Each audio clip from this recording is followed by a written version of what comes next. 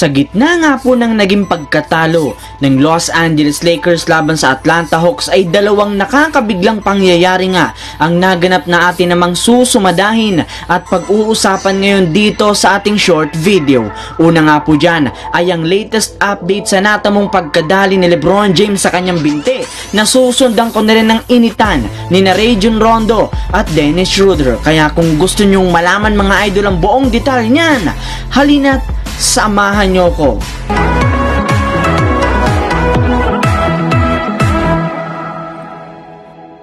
Maaga nga pong umalis si Lebron James sa laro ng Los Angeles Lakers at Atlanta Hawks kung saan natalo sila sa score na 99 to 94. Ito nga po ay matapos tumama si Solomon Hill sa kanyang kanang binte habang nakikipag-agawan ng bola mahigit 10 minuto pa ang natitira sa second quarter. Sobra nga pong ininda ni Lebron James ang nangyari sa kanyang binte. Sa katunayan, gumulong-gulong pa nga po siya habang sumisigaw sa sakit nito. Kaya napatawag nga po ng timeout ang kanyang kupunan para i-check ang kanyang kalagayan. Pero nananatili naman nga po si Lebron kahit papano sa court at gumawa pa ng isang 3-pointer ngunit makailang segundo lamang nga po ang lumipas ay inalis na rin naman po siya at hindi na bumalik pa sa kanilang laban kung saan nagtapos lamang ito sa 10 puntos. Pagkatapos nga po ng game ay agad nga pong sinuri si Lebron at kaswertehang palad nga mga idol ay wala namang nakitang malalang pagkadali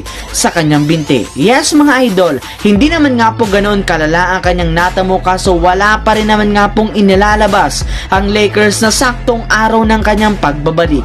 Nagbigay rin nga po si Lebron James ng positibong pahayag gamit ang kanyang social media account at sinabing masakit nga sa kanyang loob na hindi niya natulungan ang kanyang kupunan na manalo pero pinapangako naman nga po nito na makakabalik siya sa lalo lalong madaling panahon. Sa sumunod na storya naman tayo, matagal nga pong hinahangaan na ni Dennis Ruder si Rajon Rondo ngunit sa huling pagbanggaan nga po nila ay hindi nga nito nagustuhan ang ginawa sa kanya ng kanyang idolo. Yes mga idol, tinawagan nga po ng technical foul si Rajon Rondo matapos idikit at itulak nito ang bola sa ulo ni Dennis Ruder. Mabuti na lamang nga mga idol at hindi nagpadala si Ruder sa ginawa ni Rondo at nagreact na lamang sa tamang paraan. Subalit, sa kanyang panayam nga po pagkatapos ng kanilang laban, ay hindi rin naman nga po nito napigilan pang ilahad ang kanyang pagkainis at inaming hindi parte ng laro ang ginawa sa kanya ni Region Rondo. Well, aminin man nga natin sa hindi,